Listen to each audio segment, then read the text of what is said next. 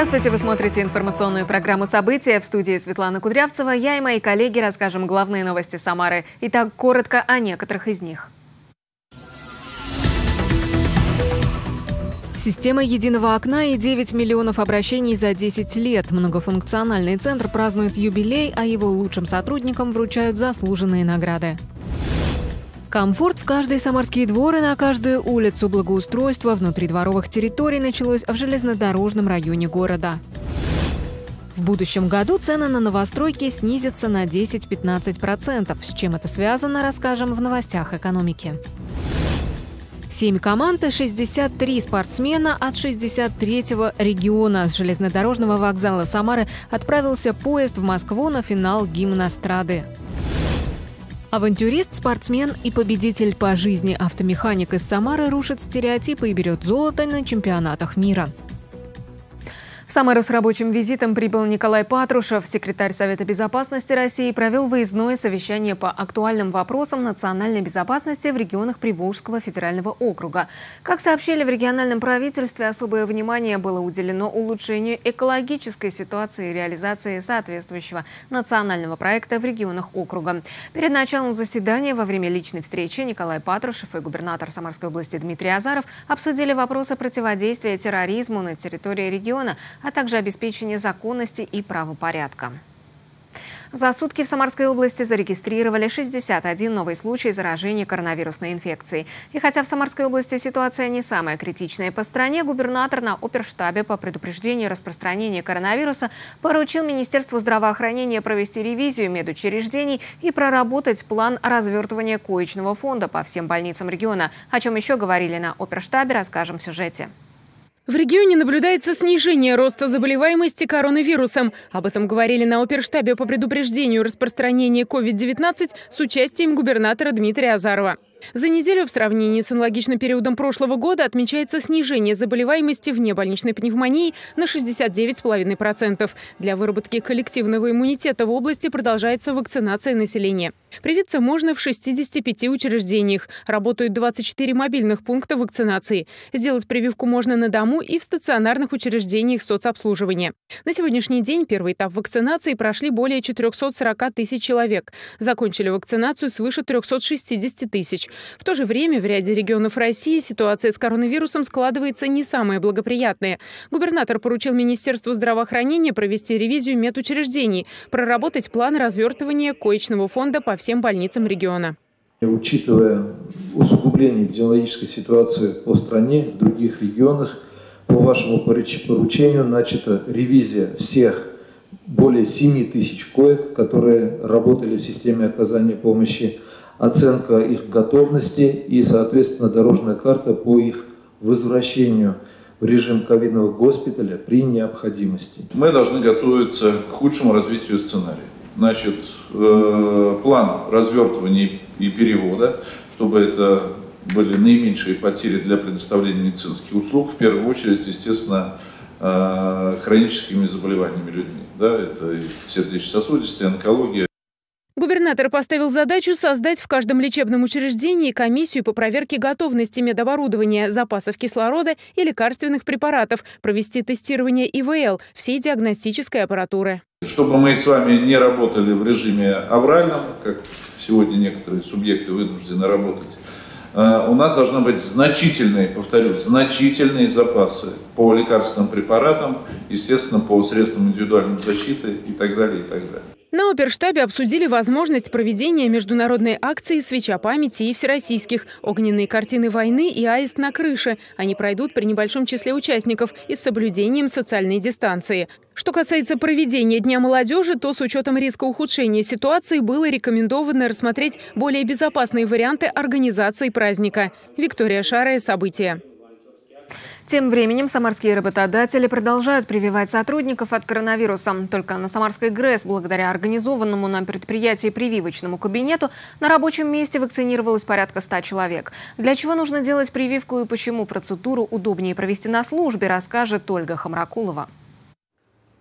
Каждый энергетик – это сотрудник отрасли жизнеобеспечения. И здесь профессия обязывает как никогда беречь здоровье от коронавируса. В регионе продолжается прививочная кампания. Получить вакцину от коронавируса можно и на рабочем месте. На Самарской ГРЭС, например, прививочный кабинет организован в местном здравпункте.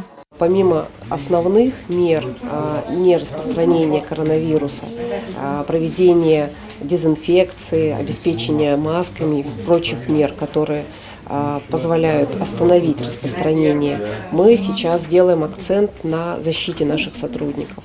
Прививки делают медики из выездной бригады. Предприятия откликнулись очень живо на эту идею, потому что мы выезжаем, предварительно прочитав лекцию. После этого выезжает уже позднее бригада. Бригада в составе врача, медсестры и администратора выезжает на предприятие и непосредственно уже с работниками предприятия на территории именно этого предприятия, создав тем самым удобство, а, организуем прививочную кампанию. Вакцинация бесплатна и добровольна. Получить прививку на рабочем месте может каждый сотрудник предприятия. Род моей деятельности подразумевает под собой э, общение с большим количеством людей. И в связи с этим, конечно, есть риск э, заболеть этой болезнью. Ну и, конечно, думала прежде всего о своей семье, чтобы не заразить своих близких. Сегодня на предприятии первым компонентом вакцины привились 100 человек. Второй этап прививки им предстоит пройти через 21 день. Всего же на Самарской ГРЭС привиты уже почти 40% сотрудников. Ольга Хамракулова. События.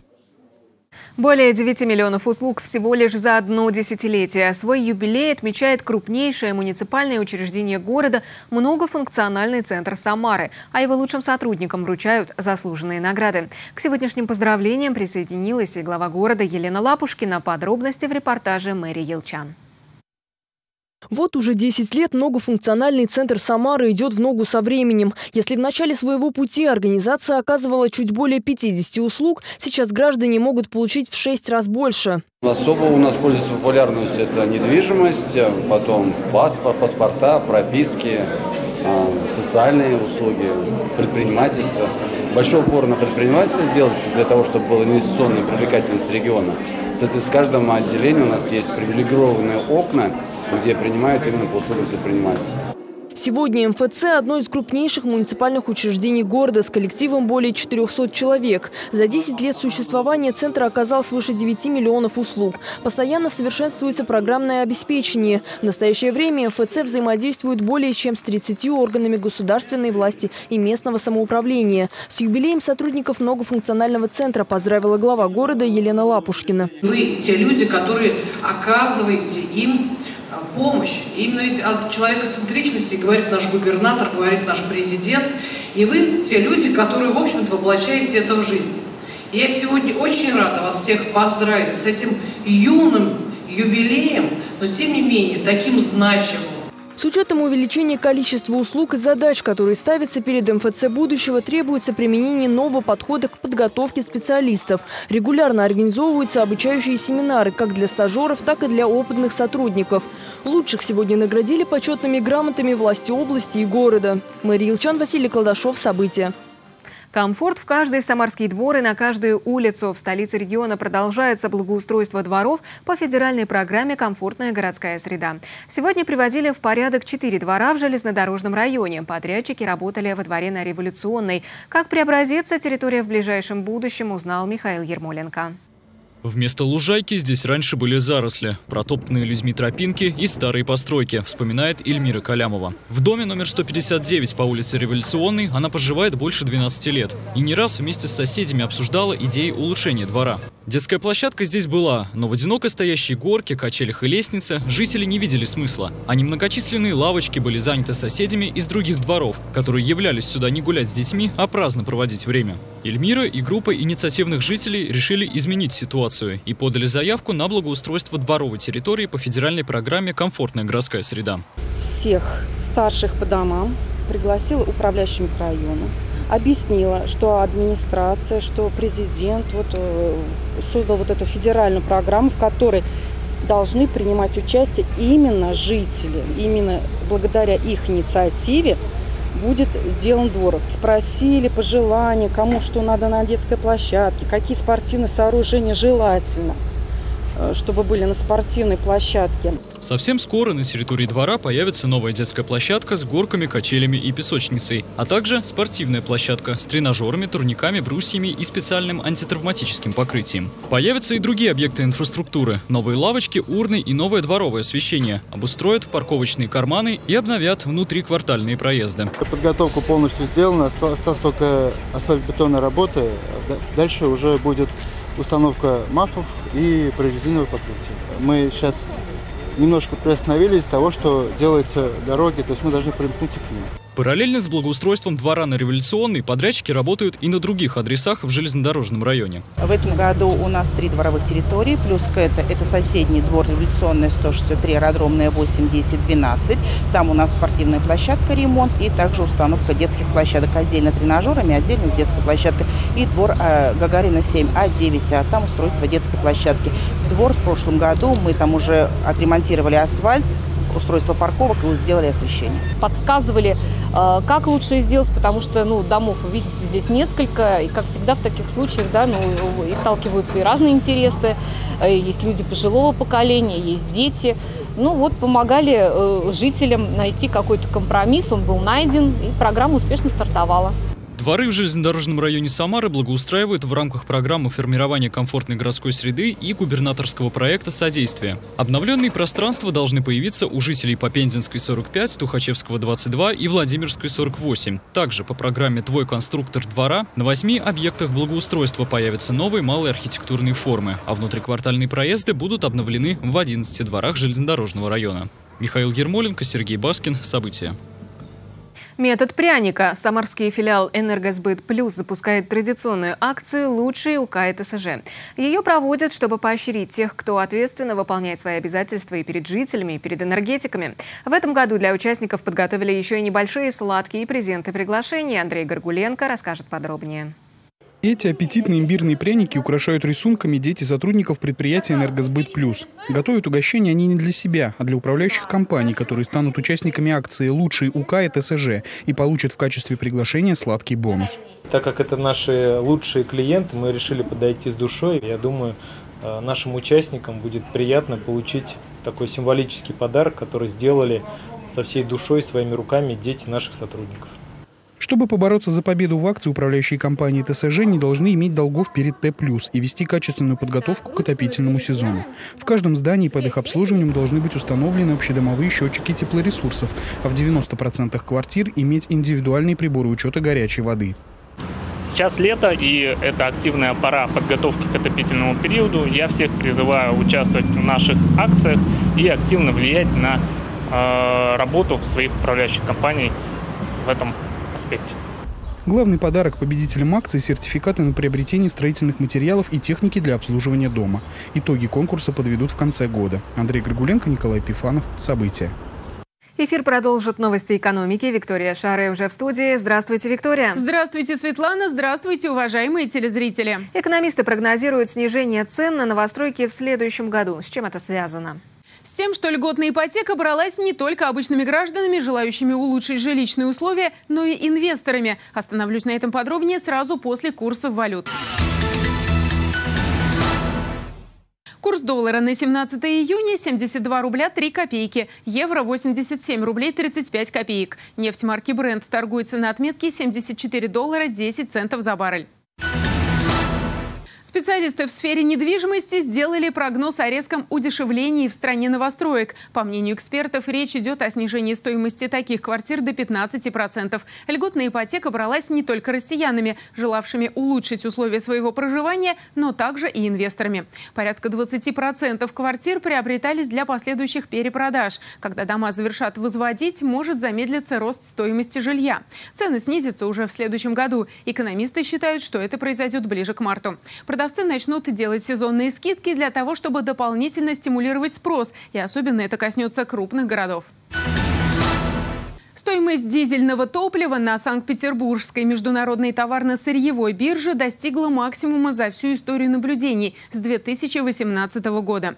Минэнерго России, комментируя ситуацию, заявила, что объем предложения дизельного топлива на внутреннем российском рынке в два раза превышает объем потребления. При этом на рынок влияют внешние факторы, в частности, рост цен на нефть. Но на розничных ценах на дистопливо это не отразится. С начала мая биржевые цены на топливо на Санкт-Петербургской бирже выросли на 5% до 52,5 тысяч рублей за тонну.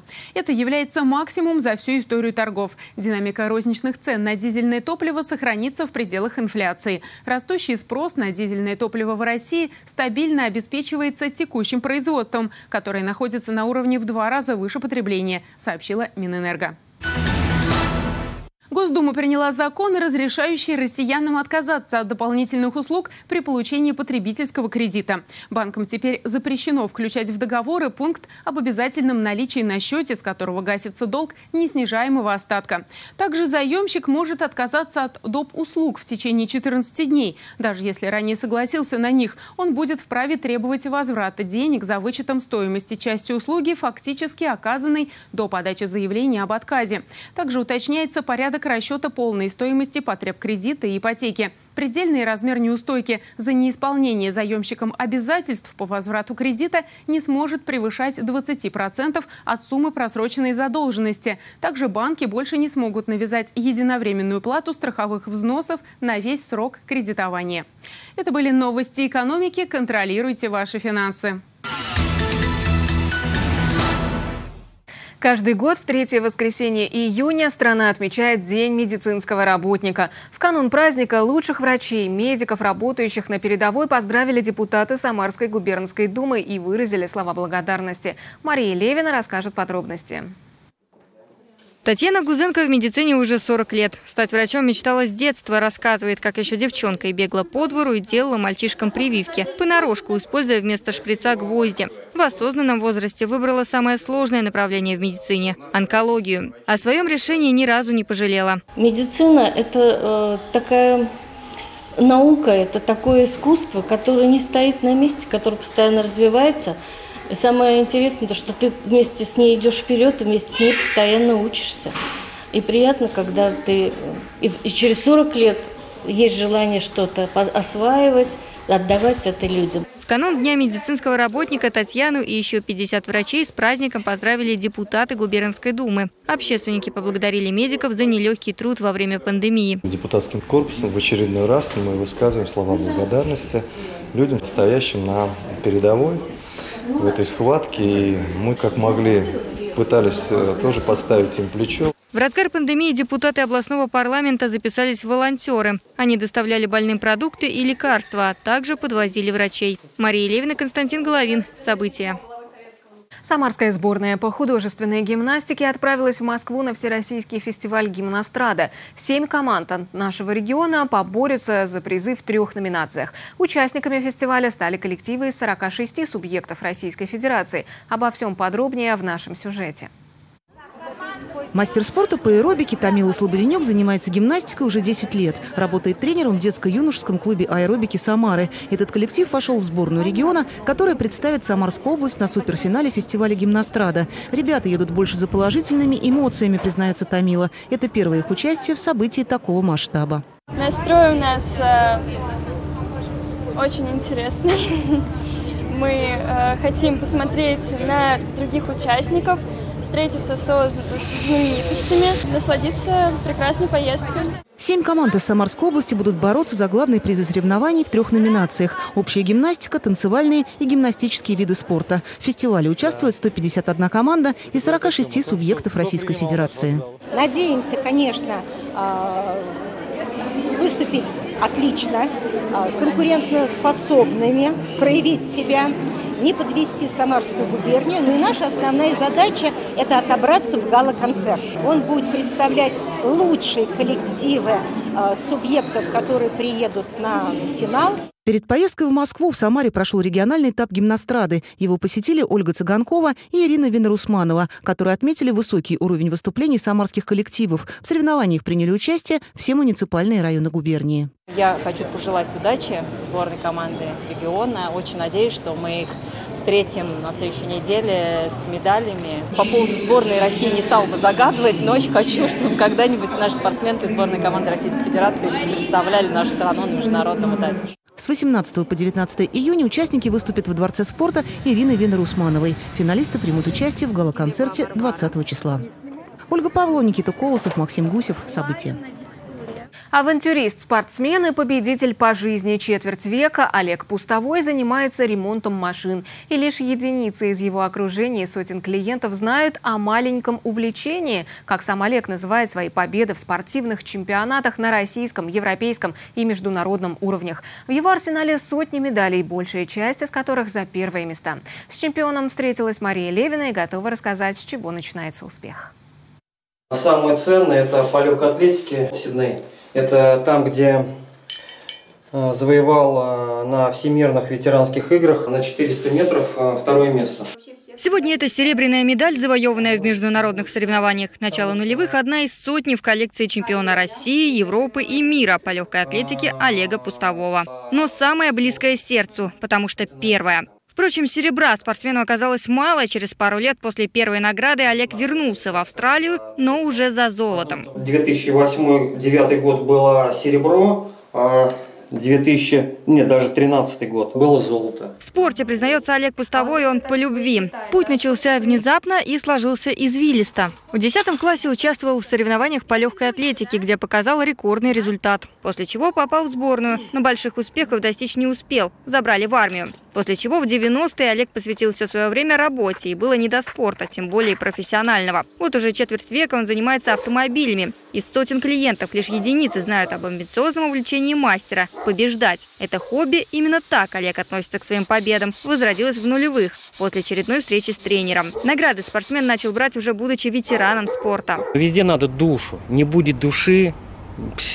ну, то есть, э, по мне, вот, мне, если взять работу, то если ты не вкладываешь душу в свою работу, то не будет качества. Ты не будешь дорабатывать, значит, не будет результата.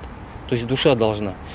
И я такой просто по характеру, что если оно не получается, или оно не идет, или там что-то, я не буду этим заниматься. Мне неинтересно. Мне сам важен сам процесс вот именно адреналин. Случайными победы Олега Пустового не назовешь. Сейчас он тренируется шесть раз в неделю. После того, как на европейских и международных соревнованиях запретили участвовать спортсменам с флагом России, Олег начал поиск альтернативного вида спорта. Выступать под безымянным флагом спортсмен не захотел. Выбор пал на греблю. Коллектив нравится. То, что мы в коллективе, в легкой все равно ты как бы индивидуально занимаешься. А здесь коллектив, у каждого свой характер. Кого-то плюсы, у кого-то минусы все в совокупе должно играть только на достижение одной цели и все. Если ты отдаешь себя полностью, то тогда это интересно. А бывает такой момент, что на работе наработаешься уже, ты полностью выкачанный и э, чисто машинально переодеваешься, едешь, про себя в какой-то степени думаешь, господи, э, уже как чего, пришел, переоделся на тренировке, начал какую-то работу делать, ее сделал, и уже потом, по окончании, когда едешь домой, думаешь, я ведь еле-еле себя это. И вот это уже так вот идет. Гребля, отмечает Олег Пустовой, командный спорт. Успех здесь зависит от сплоченности тех, кто в лодке. Поэтому работа идет не столько физическая, сколько психологическая. Важно замотивировать всех участников, чтобы вместе прийти к победе. А для этого важны регулярные тренировки и уверенность в своих силах. На своем примере Олег Пустовой показывает, что ни возраст, ни занятость, никакие другие причины не смогут остановить человека, если он чем-то действительно загорится. Победы в чемпионатах начинаются именно здесь, на стадионах, в спортивных залах и просто детских площадках и дворах. Там, где начинается душевный подъем, непоколебимая вера в успех и самые первые, вместе с тем самые долгожданные награды. Мария Левина, Константин Головин. События.